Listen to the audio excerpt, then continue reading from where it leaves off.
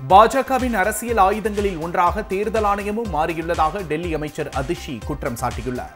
டெல்லியில் செய்தியாளர்களுக்கு பேட்டியளித்த அதிஷி தங்கள் கட்சியின் தேர்தல் பிரச்சார பாடலுக்கு தேர்தல் ஆணையம் தடை விதித்துள்ளது என்றும் தேர்தல் பாடலுக்கு தடை விதிக்கப்பட்டது வரலாற்றில் இதுவே முதல் முறை என்றும் தெரிவித்துள்ளார். தேர்தல் ஆணையத்தின் இந்த செயல்பாடுகள் மூலம் அந்த அமைப்பு பாஜகவின் மற்றுமொரு அரசியல் ஆயுதமாக மாறியுள்ளதாகவும் விமர்சித்துள்ளார்.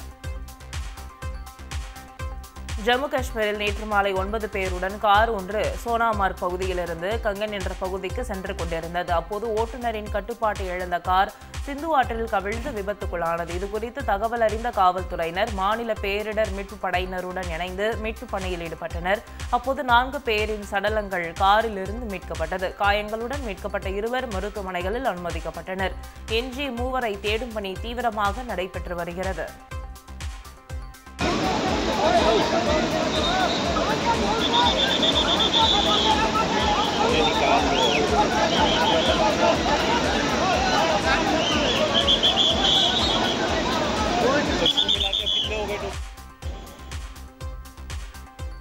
கர்நாடகாவில் நடைபெற்ற மக்களவைத் தேர்தலில் வாக்களிப்பதற்காக சொந்த ஊர் சென்றவர்கள் ஒரே நேரத்தில் பெங்களூரு நோக்கி வந்ததால் அங்கு கடும் போக்குவரத்து நெரிசல் ஏற்பட்டது.